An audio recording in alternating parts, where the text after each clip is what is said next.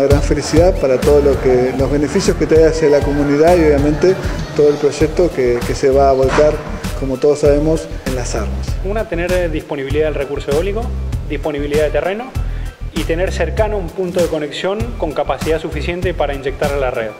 Las armas satisface estos tres pilares, entonces por ese motivo es que se desarrolla en ese punto. La energía renovable llega a Maipú. Nación eligió a las armas para establecer un parque eólico que abastecerá de energía a toda la región. Este será el cuarto parque existente en el país.